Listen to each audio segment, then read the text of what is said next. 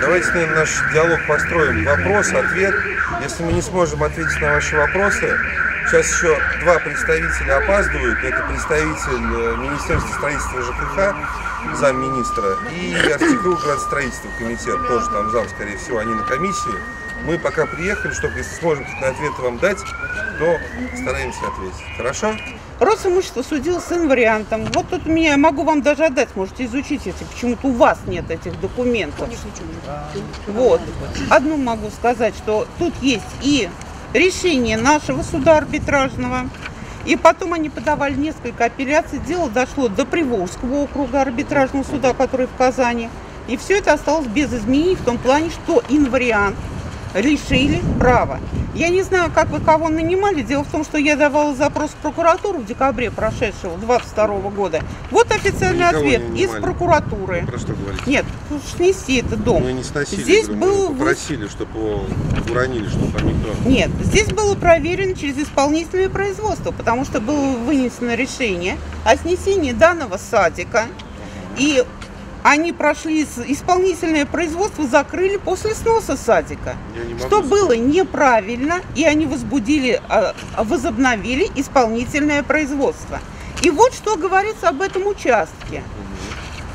Говорится о том, что с учетом объяснений директора его инварианта Шмелькова от 22.12.2022 года о фактическом отказе от права аренды на земельный участок, ну номер участка, а также информация из ТУ Росимущества от 21.12.22 года, рассматривая земельный участок, будет осваиваться новым правообладателем в соответствии с видом разрешенного использования.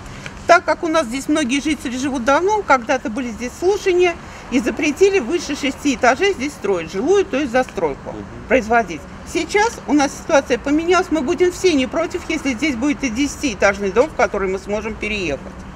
Вот. И правилами землепользования и застройки муниципального образования город Саратов. То, что Правила. сейчас в ЕГРН висит, оно уже просто, я не знаю, почему не вносится землю. То ли вы решили кто-то, я не хочу никого обвинять персонально. Боже меня упаси. То ли эту землю придерживают под кого-то, то ли что-то. Это неизвестно. Вот он висит, как бы это обременение. Вот вы можете прочитать, я вам их отдам. Решение всех судов, что уже инвариант тут и базис, никто. То есть в тот момент, когда у нас а, произошла как раз смена правообладателя на это, по решениям суда, наши дома прям практически одновременно признаны аварийными. Об этом я уже говорила. И у нас создается мнение, что здесь формируется участок для э, комплексного развития территории жилой застройки. Ну, может быть, кто-то у вас там хочет зайти сюда и развивать эту территорию. Но я не знаю, какая-то организация, может быть, к вам обращалась. Никто нам И не именно обращался. под нее ну, делается такой заказ, потому что дома, э, они в принципе хорошие, и были они вообще отличными. Но в связи с тем, что ни капремонт не делался, хотя деньги люди регулярно сдавали, вот они дошли до такого состояния. И сейчас их просто вот одновременно признают аварийными и образуется вот такой вот двух э, гек- ну, площадью два гектара. два гектара, да, участок. И это без вот этого дома, который, в принципе, пять. тоже может сюда войти, территория еще больше. Он и войдет, Вот. да. И вот этот вот И э, вот это кафе. помещение кафе. То есть вот здесь вот, вот я мерила по публичной кадастровой карте линейкой, вот ну, все, что вот сейчас на данный момент призналось, там 2 гектара уже есть. То есть здесь у нас э, возможна территория, э, освоение территории по новым требованиям, которые там Современно. современные требования застройки.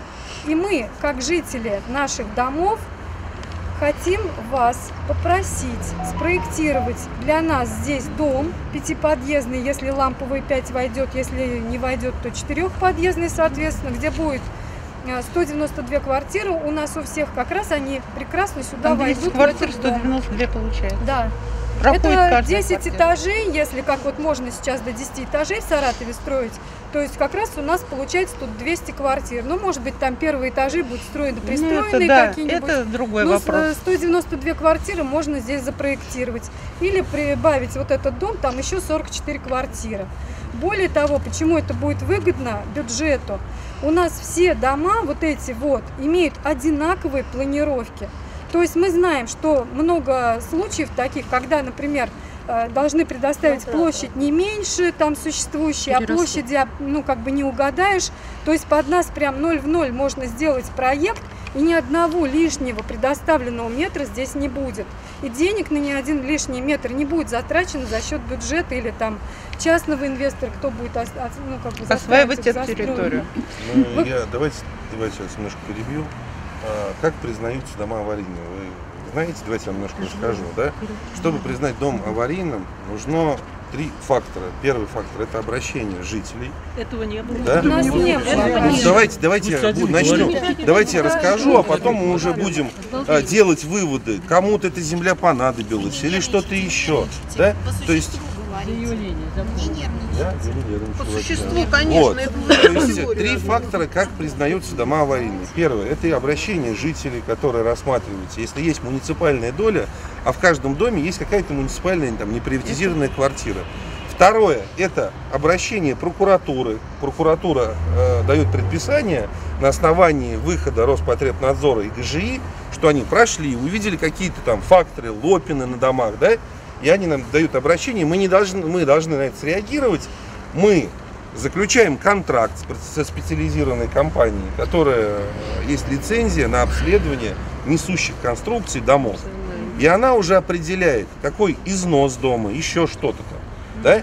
Потом это, это заключение подается на комиссию там, в количестве от 15 до 18 человек. И только на основании этого заключения комиссия делает, голосует и э, признает дом аварийный он или не аварийный. У вас произошло по требованию прокуратуры. Эти дома были признаны, да? Э, В связи с тем, то, что нам мы вышли, организация сделала заключение. Мы можем, я не знаю, если вы, вы, вы это определите там старших по домам, можем дать вам это копию этого А заключения. Вы нас можете есть. его, да, Мы вы можете его, заказ. да, вы его есть. можете почитать. То есть здесь о том, что какой-то там заказ на вашу землю или что-то, не, даже не может идти речи, понимаете? Ну, хорошо. Давайте я дальше расскажу. После этого, когда ваш дом признается аварийным, вы автоматически эм, вступаете там в программу, которая там есть, будет, то, что потом вас переселить в черте города Саратова. И это сейчас в связи с тем, то, что вы вас признали аварийными, сейчас действует программа с оситкой там с 17 по 21 первый Вот год, да, января. То есть ваш дом еще даже ни в какой ни программе нету. То есть вы еще, как бы сказать, ну, можете долго здесь проживать. Смотрите. Ну продать мы уже жилье свое не можем. Почему? Капитальный ремонт мы не можем. Вот, давайте дальше расскажем. Не можем. еще я вас сразу вот на ваши слова отвечу.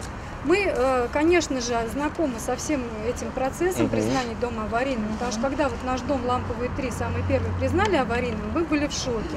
Мы заказали копии вот этих документов всех а, в администрации Ленинского района, нам их все сказали. Очень много вопросов было по всем этим документам, начиная с того, что когда мы увидели вот этот акт обследования нашего дома, во-первых, почему-то его делала компания, вообще располагающаяся в городе Волгограде. Через аукцион. Ну, понятно, но они же вообще даже не приезжали сюда. Мы никто не видели людей, все которые обследовали дома. подвалы, потому что у нас эти места закрыты на ключи, и ключи только у жителей дома. Никто не видел, что кто-то лазит, осматривает. Более того, что там есть э, такой раздел, как копия техпаспорта. И я когда заказала лично копию техпаспорта на Московской 56 БТИ, там абсолютно другие сведения. То есть у нас, например, написано в экспертизе, что у нас деревянные перекрытия, а в копии техпаспорта в нашей написано, что у нас бетонные перекрытия. Мы не возражаем переехать в новый дом, если тем более здесь складывается такая ситуация. Но мы хотим, чтобы нас оставили здесь. И чтобы, коль уж мы даже в программу никакую не вошли до 26 года расселения, нас можно не под эту программу тогда подводить, а под программу комплексного развития территории жилой застройки. Это совершенно другое дело. Это будет финансироваться не из Реновация бюджета. называется. Это реновация. То есть заходит, например, какой-то а, застройщик, который уважаемый, там много строит, там у него нет обманутых дольщиков. Ну, по-моему, сейчас уже таких застройщиков не осталось. Вот. И, соответственно, он нам строит дом. И вы ему потом отдаете все остальные участки под нашими домами, ну дальше, чтобы он окупил свои вот эти инвестиционные вложения. И То город есть не и тратит город деньги. не тратит деньги. У нас очень хорошие Да дома, спорю, хорошие квартиры. Мы не в бараках живем. Нет, и квартиры? поэтому мы, тем более, вот вы знаете, у нас такая ситуация, что мы не входим ни в какую программу. Нам не надо бюджетных денег тратить вообще.